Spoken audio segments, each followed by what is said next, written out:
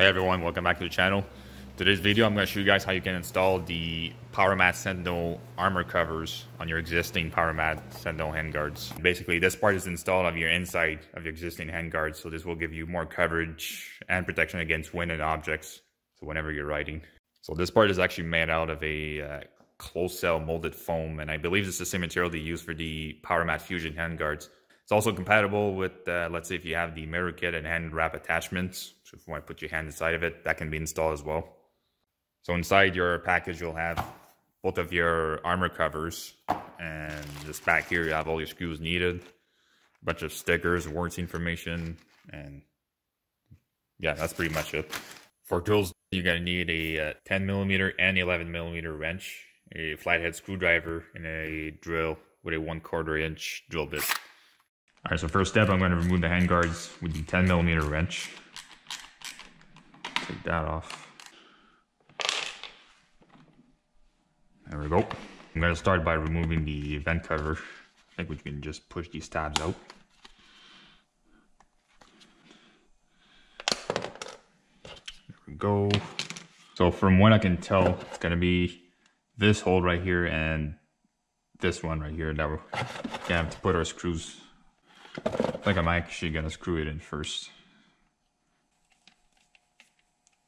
Okay.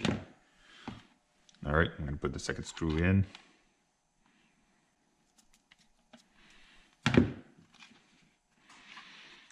All right, so I got both screws in. I'm gonna place it down and we just have to punch it through the armor guard here. So this goes in and that one's gonna go in like this. Right, just push it through. Cool. So I'm gonna put this nut in the back. I'm just gonna start, I'm gonna start threading by hand. Now remember, these are nylon plastic, so you don't wanna have them too tight, otherwise you'll strip. You have to put new ones in.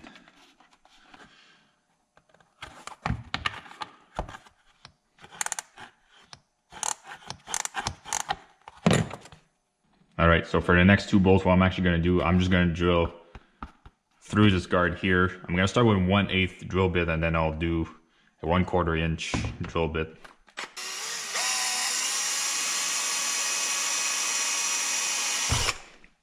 All right, we're through.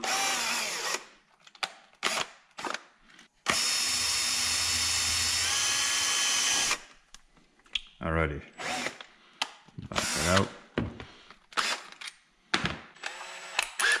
All right, second pass with a quarter inch drill bit.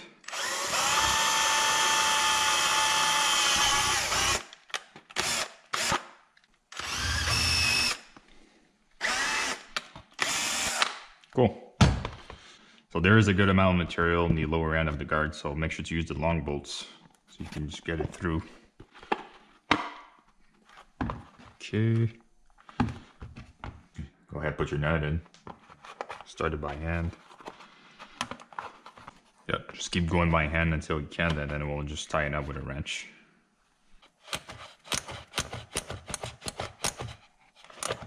That's one.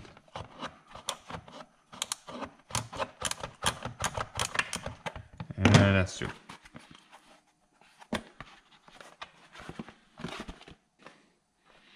All right, that pretty much does it for the install, so I'm just gonna go ahead and put them back on the handlebars. All right, this is what it looks like on the left side compared to the other one.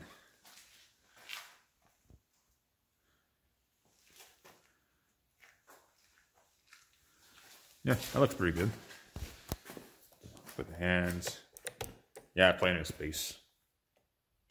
I'm gonna go ahead and do the right-handed one, and we'll see how it looks from there.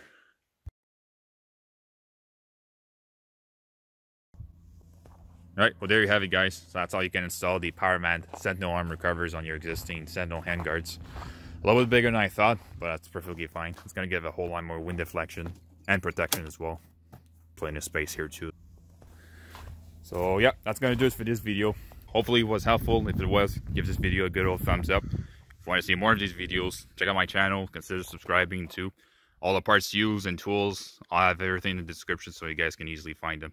Thanks for watching.